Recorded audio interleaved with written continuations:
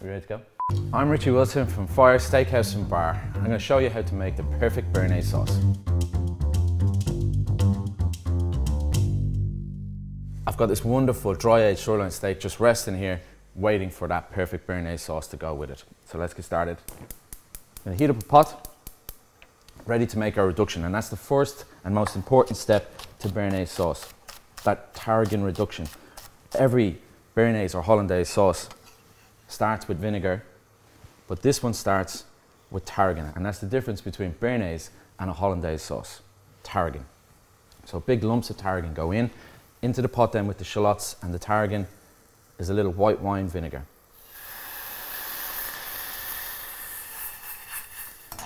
The reduction is going to add a huge amount of flavour to our sauce, but it's also essential to make that emulsion with the eggs that's going to hold on to the clarified butter when we add it in.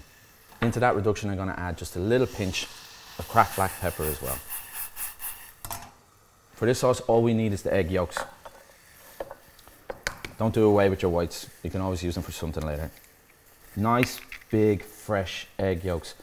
It's a great idea not to keep your eggs in the fridge. Room temperature eggs for this sauce will make your job a lot easier. Here I've got just some very simple melted unsalted butter. We can see here that the milk solids have dropped to the bottom and a few floating across the top. What we're gonna try and do is to keep those milk solids out of our sauce. That's what's gonna stop it from splitting.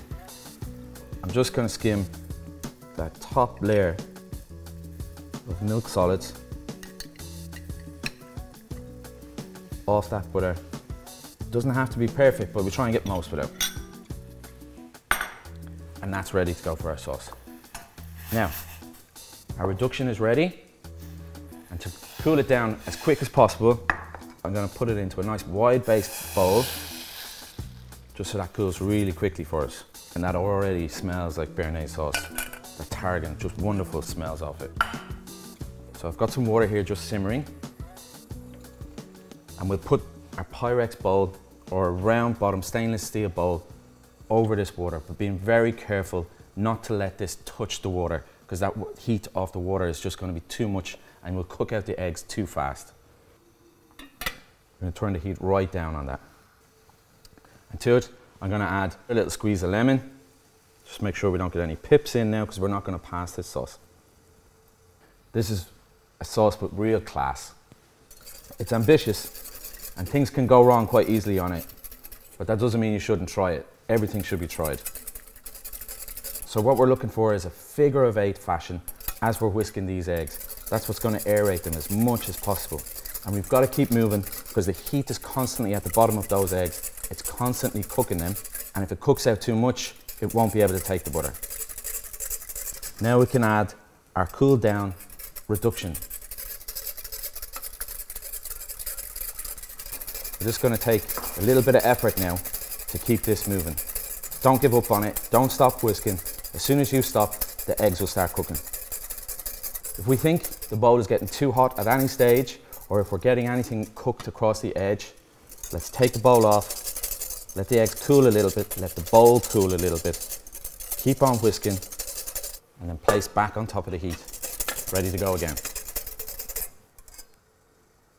Looking good. Figure of eight just holds across the top of those eggs.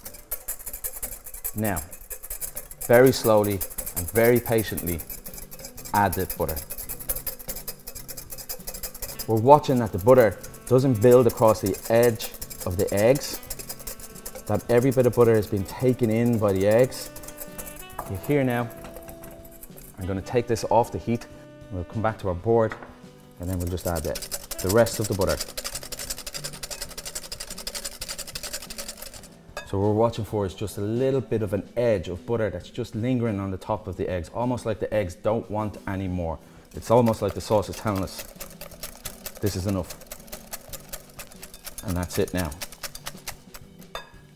Perfect. Now, the last little finish that we need is a little bit more finely chopped tarragon. Just to really let us know now, this is Béarnaise sauce. It's got that green fleck going through it we know it's there. So let's just check the seasoning.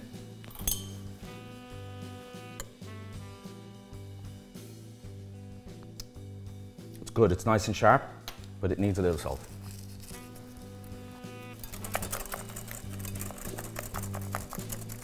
And that sauce is just thick enough now to sit on top of that warm steak and will slowly melt across the top of it. Perfect béarnaise sauce.